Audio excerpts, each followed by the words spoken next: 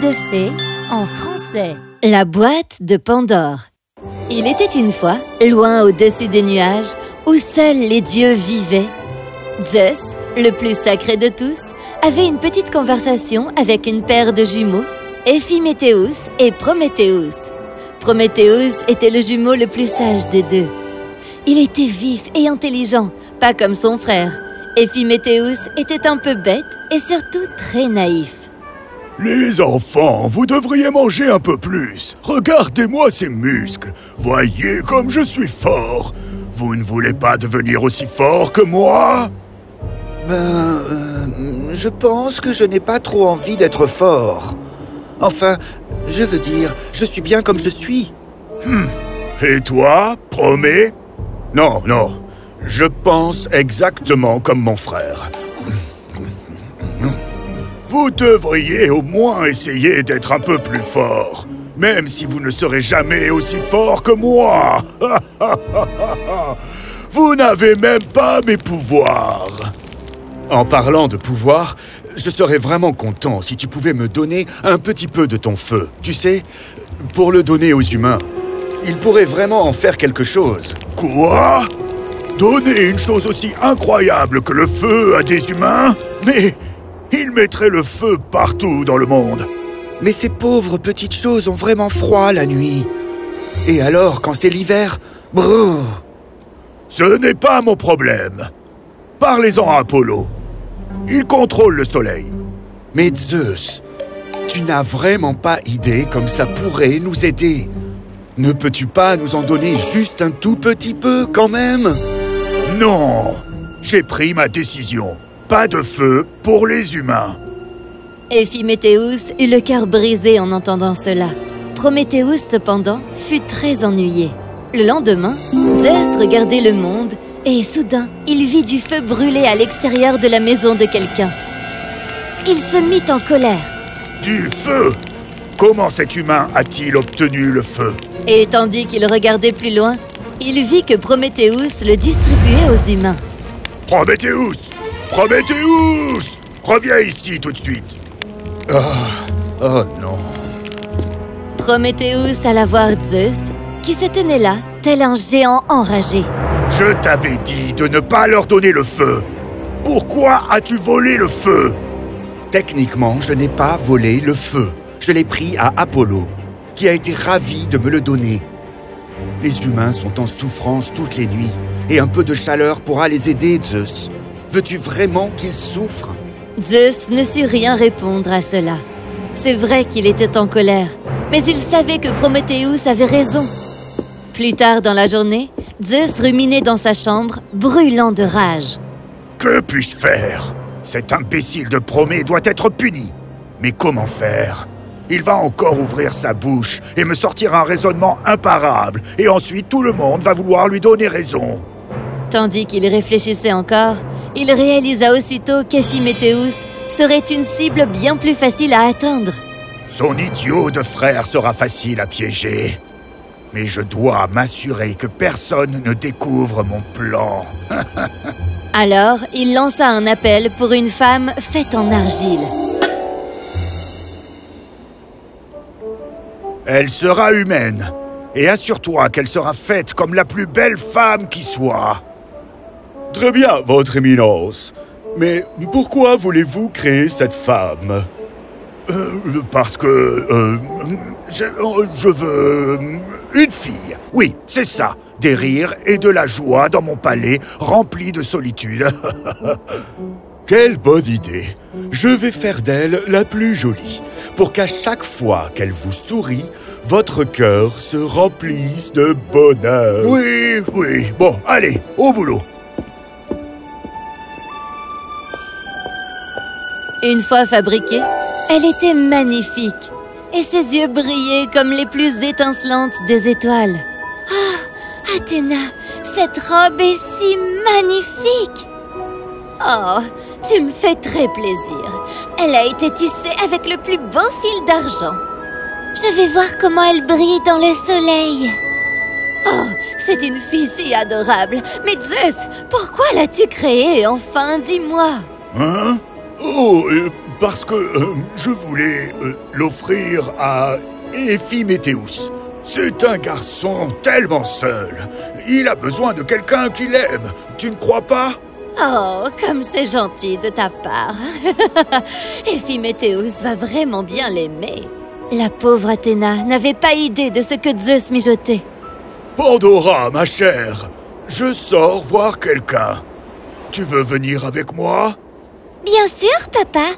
Où est-ce que nous allons Eh bien, je vais aller voir un jeune homme qui s'appelle Ephiméthéus. Il est gentil, joyeux, sympa et très doux. Pendant tout le chemin, Zeus parla tellement d'Ephiméthéus qu'il espérait qu'il ferait bonne impression sur Pandora. Pandora fut en effet très impressionnée par tout ce qu'elle avait entendu, et quand elle le rencontra, elle tomba amoureuse de lui immédiatement. Bonjour, Ephiméthéus. Est-ce que euh, Prométhéus est à la maison? Euh, oh non, je, je crois qu'il est sorti. Parfait. Ephiméthéus, j'aimerais te présenter mon adorable fille Pandora. La voici. Ephiméthéus fut très agréablement surpris de la beauté de Pandora. Elle... Elle est très belle. Oh, je viens de me rappeler que j'ai oublié de faire quelque chose. Pourquoi ne pas rester un peu et vous pourrez discuter Je repasserai te prendre, Pandora. À plus tard. Et là-dessus, Zeus repartit à la hâte à son palais. Voilà. Maintenant, je suis sûr que ces deux-là seront bientôt fous amoureux l'un de l'autre. Tout marche comme sur des roulettes. Plus tard dans la journée, quand il retourna chercher Pandora, il les trouva là à se regarder dans les yeux avec tendresse. Oh, papa, papa, j'aime vraiment Ephiméthéus. Je veux me marier avec lui. Pandora, attends, ce n'est pas comme ça qu'on... C'est super Hein? On va vous marier dès demain. Ainsi, le lendemain, Pandora et Ephiméthéus furent mariés. Oh, ma petite Pandora. Oh, et je ne t'ai eu avec moi qu'une seule journée.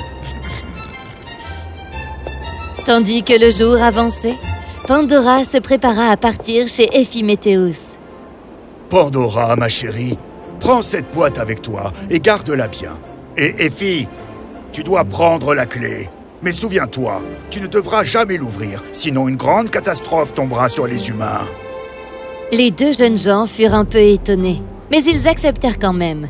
Les jours suivants, Pandora passa son temps à explorer et découvrir la maison d'Ephiméthéus.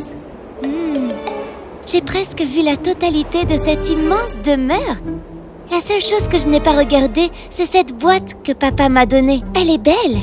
Je vais demander à Ephiméthéus de me donner la clé. Mais quand elle lui demanda, Ephiméthéus lui dit non. Peu importe combien de temps elle l'implorait, il disait toujours non. Je te donnerai tout ce que tu veux. Tout, mais pas ça. Et seulement ça. Pandora en fut très contrariée. Alors un jour, quand Ephiméthéus était dehors, elle alla voler la clé dans sa chambre et alla ouvrir la boîte interdite. C'était juste un cadeau de mariage. Ça ne peut pas être si terrible. Voyons voir ce que c'est. Oh Tandis qu'elle ouvrait la boîte, un énorme nuage d'insectes en sortit et s'envola. Il y en avait tellement qu'on aurait dit un nuage noir. Pandora referma la boîte rapidement et regarda en l'air, terrifiée. Qu'est-ce que tu es? Nous sommes toutes les mauvaises choses de cet univers. La haine, l'envie, l'égoïsme, la tristesse. On a été enfermés dans cette boîte il y a très longtemps. Et maintenant on est enfin libre, enfin On va pouvoir se répandre dans le monde entier.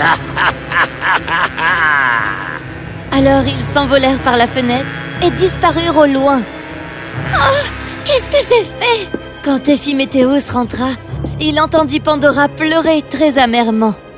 Ma chérie, qu'est-ce qui ne va pas? Pandora raconta tout à Ephiméthéus et lui aussi commença à s'inquiéter. Mais euh, que peut-on faire? Je ne sais pas comment je peux aider. Je peux aider. Fais-moi sortir et je vous aiderai. Qui es-tu? Comment peut-on te faire sortir?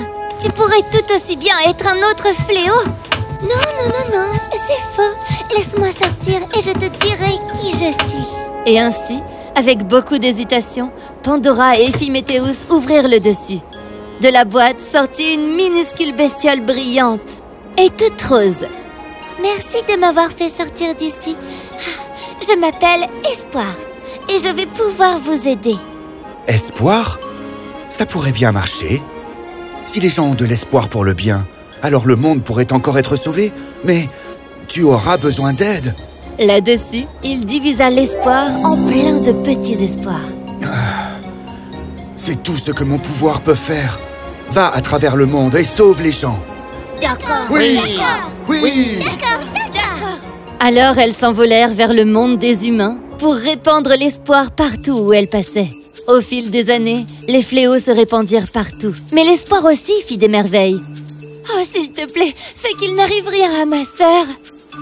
Pauvre petite, eh bien, on dirait que ta sœur va s'en sortir. Et aussi, tu as besoin d'un peu d'espoir. Tu es ma sœur, tu es forte comme moi. Je suis sûre que tu vas aller mieux. Hein? Ma sœur?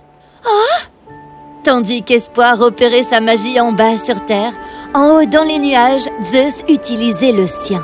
Oh, pourquoi ai-je donné cette boîte stupide à Pandora? Je n'ai pas assez réfléchi à ce que je faisais. Votre éminence, le mal s'est emparé de plein de gens quelque part en Asie. Vous devez aller là-bas et les aider. Votre éminence, le mal se répand partout en Europe occidentale. Il faut absolument en faire quelque chose. Votre éminence Oh non Le pauvre Zeus s'était attiré ses problèmes à lui tout seul. La seule chose à faire, c'était de pouvoir se reposer sur l'espoir. Allez, Espoir